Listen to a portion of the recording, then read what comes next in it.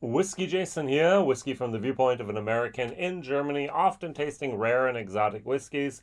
Today I have something from Benriach, Benriach the 10 year old, Benriach the 10 year old triple distilled. And this is from Rachel Barrie Master Blender. So this is a travel retail exclusive. It is a one liter bottle and I paid 69 euros 90 for this. Now, if you divide that price down to a 0.7 liter bottle, you're around 48 euros 90. So now this is triple distilled, which does not happen very often. Benriach produces about 1.8 million liters of spirit a year. A portion of that is going to be peated, and the even smaller portion of that, about 15,000 liters a year, is going to be triple distilled. Now, the casks are all exclusively used for the entire 10 years. So we have virgin oak. Is it American oak? I assume. I don't know. Is it charred? I don't think so. Is it toasted? Probably. Hmm. Um, so we have virgin oak. We have Pedro Ximénez. And we have ex bourbon casks. So if you look in the back, bourbon cask, Pedro Ximénez, virgin oak and then they're actually then blended together from Miss Rachel Barrie to make this wonderful blend.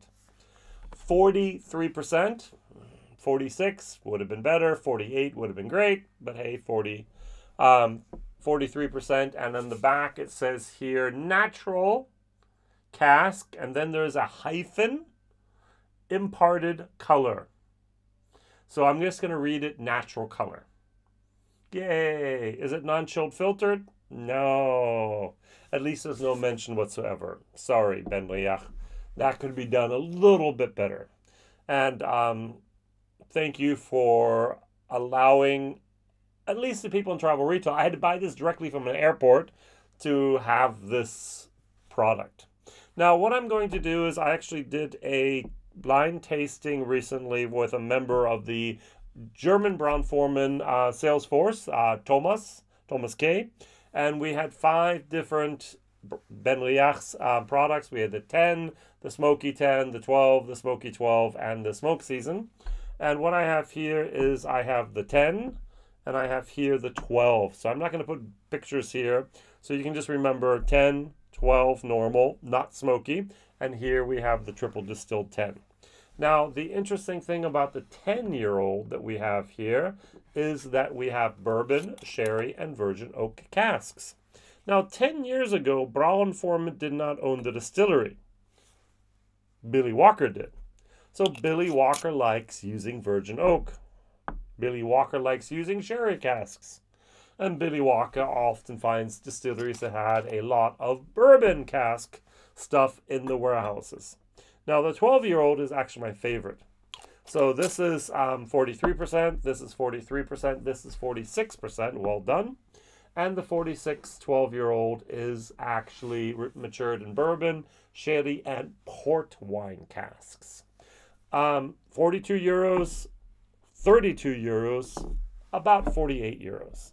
So not bad for the prices. We can we can live with these prices at the moment.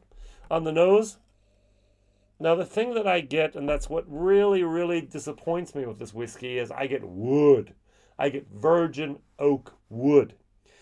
I would assume that if we only have 15,000 liters of triple distilled spirit, we would put it in quiet casks to allow this quiet, somewhat um, more refined spirit to shine. Normally, I would not put it in virgin oak, and just the virgin oak's going to just dominate.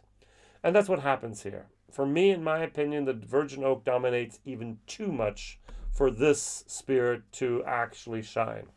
So the 10 year old smells like a 30 some year old, uh, 30, sorry, not 30 year, year old, but 30 euro whiskey. The, the more I taste whiskey, the less important age statements become for me.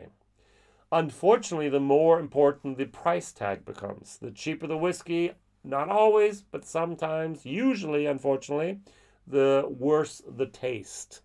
I've had 12, 15, 18 year old whiskeys that were somewhat good in the price range. But if you actually took a younger whiskey and paid maybe the same price, they beat the the older whiskeys almost every time. And so it's not often, unfortunately, the age that is a significant um, telltale of how good a whiskey is going to be, but unfortunately, often the price. Now, this 12 year old, by the way, that 42 euros, that sherry, port, bourbon magic is absolutely something I can recommend. 46%, gonna be my favorite of the night. All right, but we're going here and we're testing the Benriach wood emphasized triple distilled Benriach whiskey. What what I think is unique is I really really don't get the impression that the Pedro Ximénez is overpowering this. The Virgin Oak is overpowering, but the Pedro Ximénez is dialed back, and the bourbon, eh, even less so. Now, on the nose, I could, I should be getting here, according to the official tasting notes, candied orange, creamy vanilla, and vibrant spiced oak. Yeah, I talked about the vibrant spiced oak a lot, didn't I? And a little bit of vanilla. And okay, the candied orange. I've had I've had whiskeys with much much more massive candy orange moments. Cheers.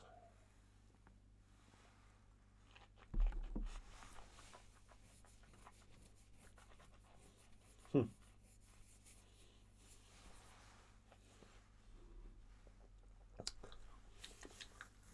This has so much virgin oak emphasis on the taste that it's almost not identical, but it's almost like a little bit like a bourbon. I'm not used to that on my single malt scotch. My single malt scotch usually do not have that nice wood virgin oak moment. And I'm coming to this whiskey with the expectations of a delicate, fruity, triple distilled whiskey. And instead, I get this massive punch of oak, which disappoints and confuses me, to be honest. To go over to the 10 year old, 43%, at least it's 43 and not 40. I am not a big fan of this. This is not something I can really, really recommend to my my friends that bourbon sherry and virgin oak moment. The virgin oak is very subtle here compared to this.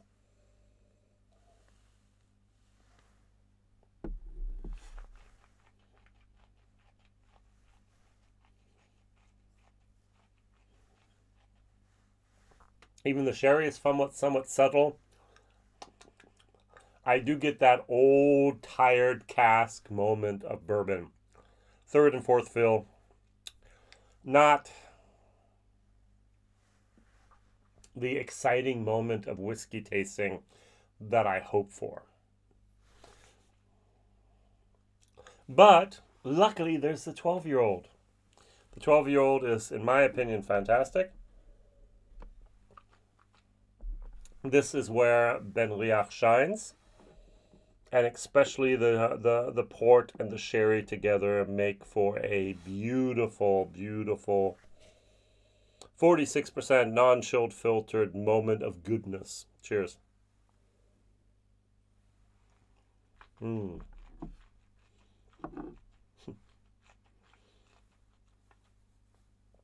The 12 year old 46 is smoother it's less alcoholic is creamier, is much, much more of a mouth filling viscosity, vis- viscous moment. Mm. And that port sherry combo, that combo port and sherry is just mouth watering good. So if I were to give this um, on a good day a C plus, I'm going to give this on a good day a B. And on a good day, I'm going to give this a C to C minus. So B minus, C minus, C to C plus. Benriach has a whole range of different products, and some of them are actually 32 euros. Yeah. 42 euros. Yeah. 48 euros. Well, on a good day. And you want some, you want you want a good a good virgin oak moment. This is gonna do it for you.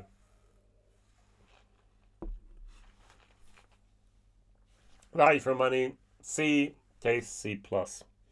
All right. Question of the day: What other um, distilleries do you know of in Scotland that do triple distillation, Auchentoshan, and? And I would love for you to actually um, thumbs up, recommend, subscribe, and tell others. Whiskey Jason here, whiskey from the viewpoint of American over here in Germany, tasting rare and exotic whiskeys. A travel retail exclusive one liter Benriach 10 triple distilled with a little bit much, too much of the uh, the virgin oak uh, proportions in it. Sorry, Rachel Barrie. Maybe next time better. Bye bye.